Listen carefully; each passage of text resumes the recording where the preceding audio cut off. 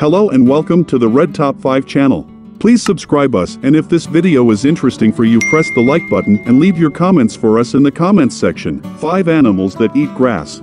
Sort of grass that grows in pastures but is not maize, wheat, or another form of cereal is not the most nutrient-dense diet for us, but it is perfect for other animals. This is due to the fact that animals who consume grass have sufficient amounts of the cellulase enzyme, which breaks down the cellulose in grass, in their gut bacteria. Number 5 Grasshoppers Naturally, these insects prefer grasses like quackgrass, June grass, Johnson grass, and even the Kentucky bluegrass seen in lawns due to their renown for having strong rear legs. They are so fond of grass that swarms of them may wreak havoc on crops like maize, wheat, and oats that are consumed by people. Some grasshoppers, like the green striped one, like to nibble the leaf's edge about halfway up, chew through the leaf, hold onto the piece that was removed, and then use their feet to transfer it to their mouths. The grass will be chewed to the top by other grasshoppers. Number 4 Geometric Tortoise this turtle specializes in eating grass and is native to the Cape province of South Africa. In fact, the starry design on its rounded shell was most likely developed to help it blend in with the grasses it forages for food. This turtle prefers to stick on particular grasses like red oat grass, Bermuda grass, Briza maxima, and Pentaschistis curvifolia, which is also indigenous to the Cape province and is found in a shrubby habitat known as the Renosterveld. Number 3 Canada Goose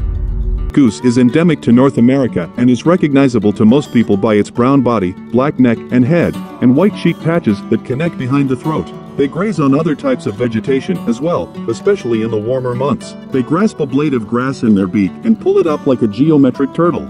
They can then consume the roots in addition to the blades and stems. The geese also consume the seeds that the grass produces. Number 2 Grass Skipper Caterpillars. Of these unassuming tiny butterflies with their clubbed antennae feed on grass, whereas other moth and butterfly species devour exotic plants like viburnum, milkweed, blueberries, blackberries, sassafras, witch hazel, and wild and cultivated crucifers. The caterpillars themselves are unassuming, having large heads and plain bodies in shades of green or brown. Bluegrass, ricecut grass, bent grass, timothy, orchard grass, love grass, and purple top are among the grasses they feed on. Number 1 Mites Invertebrates like mites are not insects. They have eight legs, are related to spiders, and even make webs. These webs might be the first indication that there is a mite problem with a lawn. The mites themselves are so small that a magnifying lens is required to observe them. They eat on the underside of the grass blade, which makes them extra hard to notice. They can be particularly annoying during times of drought, although it's uncommon to have an infestation that causes significant grass damage. Thank you for being with us until the end of this video. If you like this video, please like it and press the subscribe button to support us. Also send us your comments and suggestions in the comments section or via email. We are happy to be able to improve the quality of our work according to your comments and suggestions. Goodbye.